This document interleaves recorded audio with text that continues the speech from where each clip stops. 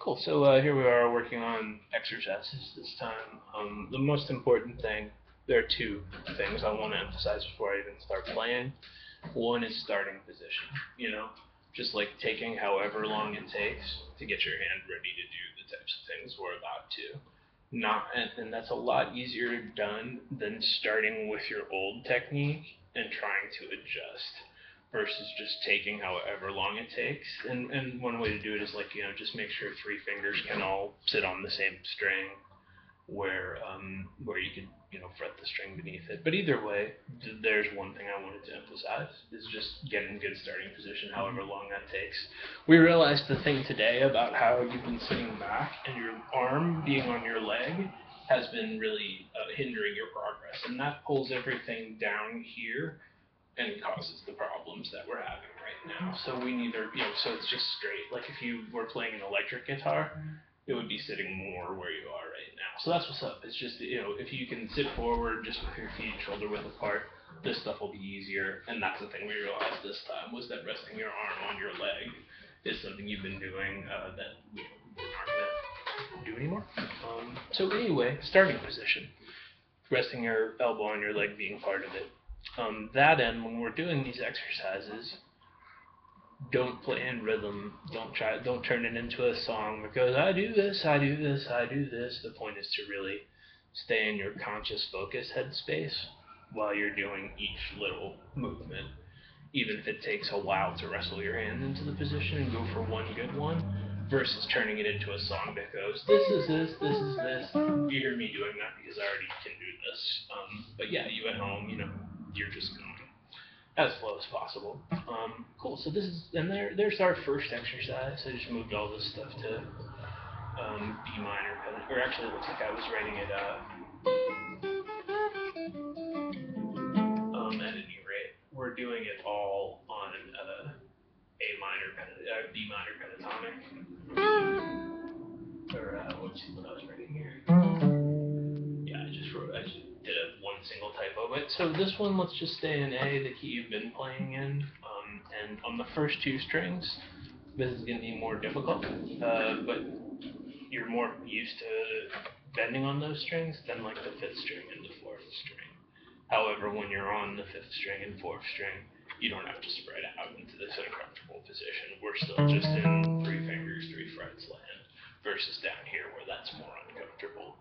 So I'm going to suggest you start on the third string, the G string, and you know we bend that string up, and you know and we're going. So before we do the reachy hard one, so you're going to start on the G string and go third string, fourth string, fifth string until that starts to get comfortable.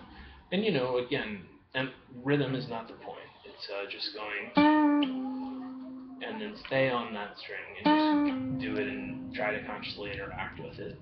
And then moving here, now we're bending down, third string, down is fine, up is fine. And on the third string, there's context where we have to bend up, there's context where we have to bend down, but third string's the only one where it could go either way, fourth string, down, fifth string, which is easier. You can get more leverage going that way. Um, yeah, so you know, we were just going, and uh, we talked about how you know, as long as you do some kind of decisive movement for the pull off, as long as your first finger's spreading, it'll sound. Another thing to watch yourself for is that your middle finger might be muting the string for a split second. So just be sure they both move at the same time, versus going like that that might have been a thing that was happening where just for a microsecond your middle string was you know muting that string. Either way, there we go. So you know third string, fourth string, fifth string, and um, so stop and just do that some, and you know like like I'm saying, just work each one on its own. Really emphasizing starting position and then just going for one good one rather than a bunch of hope I get at once. Um, and uh, so there, there, you know, do that as the first increment of stuff you're working on. Um, and now just kind of try to be mindful of using your fingertip as opposed to flop down, which is all a product of the same technique things, and do the exact same things you were just doing on those three strings, adding that level of making sure that, you know, we're bent at the first level. Like when somebody was like, how do you right on guitar, they told you to use your fingertips, so you're just touching one string at a time. That's what we're working on right now, is the ability to do that. And right now we're on strings where it's not a reach. We're just on, I have three fingers and three strings. So cool. So now just trying to be mindful of that too. Just do the third string, you know, fourth string, fifth string. Cool. So when you get comfortable with that, just hop down to the second string and do it for those two strings, which are more difficult. So you'll have dealt with X percent of the stuff in a more comfortable position, mm-hmm. and then we'll go for. And and it's so yeah, like we were talking about, it's neither that we don't move at all. You know, I mean, I can go straight away from the instrument and my pull off sounds, but going more like, you know, as long as it's a decisive movement, you'll be cool. So just watch yourself for your middle finger maybe muting there. Make sure so it should feel like when you're starting, I'm pushing down with one, two, three fingers, and these two are attached to each other. You know. So there you go. And you know, on this string, it's going to be considerably harder, and therefore starting position will be more important. So just like you were doing in the lesson, and rather than moving around, just do it on that string a bunch of times, pausing in between, consciously focused. And if you do that, the first string is only, you know, an eighth of an inch away, so it'll be the same thing. Uh, watch yourself for doing a big juxtaposition change when you get to the third string. Like if you're going across all six strings, people tend to be like, I'm playing, and then we get to the third string, doing something like that, where like you switch to it. You know, it's it's a very small change going across all six strings. Either either position, and you know, uh, the style that I'm teaching you right now is for exactly playing loose pentatonic licks with a lot of nuance. There's plenty of times where we're in classical thumb position, like we talked about during the lesson, exactly doing things with reaches in them or bar chords. Whereas thumb over the top is more for I'm playing in first position, I'm playing forwards back, or the things we're doing right now. So it's not that we never play in classical position to shred and so forth. You have to, but right now we're just doing stuff like that. So it's not that it's one or the other. Um, cool. So there's our bend-based ones, and still just be doing this stuff from last time, just working on articulating a bend, just going, and uh, just do it with being mindful of uh, your first finger being on that string. Something like that. Cool. So there's the first one. We're at 7:35. The other one I wrote down is related to working uh, on the. We're no longer bending. Now we're working on being able to land on a string where you can sound the string beneath it, where you're going to ring finger on the fifth string, first finger on the fourth string. And this all starts with this position that you might already use when you play A first position with your first finger sometimes, if you do that already. Uh-huh. Or the same thing we do when we're playing this chord, where we're trying to hit three. But either way, the only part of our hand that goes flat like we need it to is our very first top knuckle. So this is, you know, me bent there, and that's what enables us to get up, along with good position, high enough to where your fingers don't feel like, man, they just flop down, which is my thumbs up a little higher or whatever. So yeah, you know, just you can just kind of do that, and then um, yeah, the first one we did, we're going. So yeah, the hammer-on's just on one single string. And my finger, my index finger here is barring one, two, three strings. And then I'm bent up at this knuckle, which is what allows me to get into this position rather than if my finger was straight, where anyone would feel like that's impossible. In fact, it is impossible. Uh, cool, so here's us of you know. We'll probably alternate pick that, but just do whatever, don't worry about your right hand. So, you know, wrestle with that on the fifth string, fourth string and third string. Figure out which one of those is the most comfortable for you, and then just ride that one until it gets comfortable. Um, they're not that different. But yeah, so we're going, you know.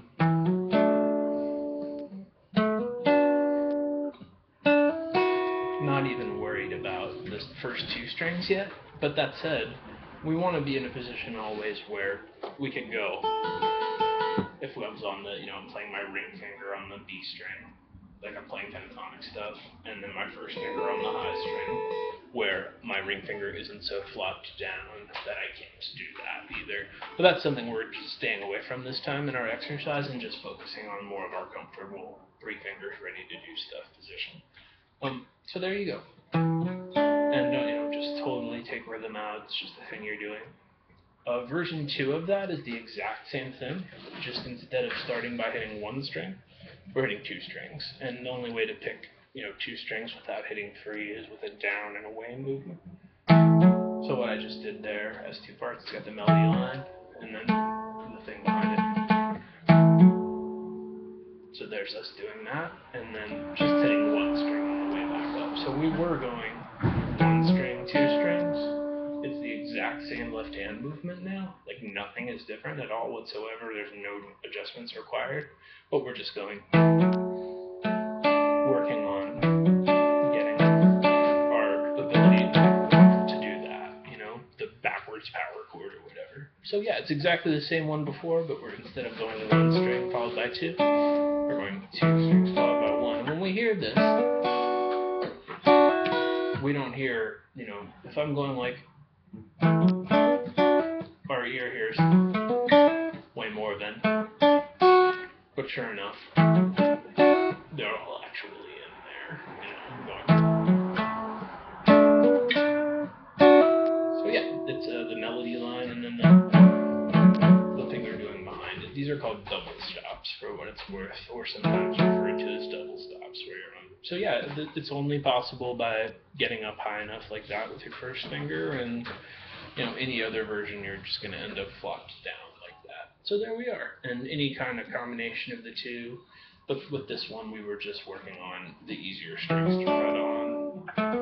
For all intents and purposes, your middle finger could be doing nothing during this exercise, is for it to sandwich up on your first finger, which is a thing that happens for two reasons.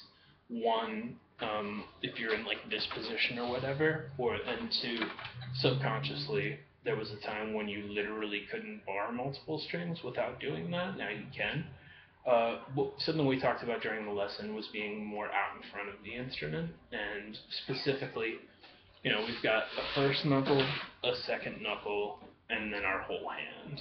We're trying to facilitate a position where, as opposed to your hand bending at the second knuckle, you're actually bending at the at the third. You know, when you're up on these strings, you're actually out in front of the instrument with uh, you know, just in this C shape where I'm not here, where it's just this part of my hand, but I'm here where it's you know the whole this is out in front of the instrument as well.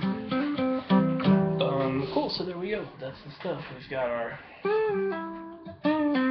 where I kind of, you know, definitely if you follow the video and just like pause and do one at a time, it won't, seem so bad. But this is what's supposed to be hard. This is why you're doing lessons. It's all good.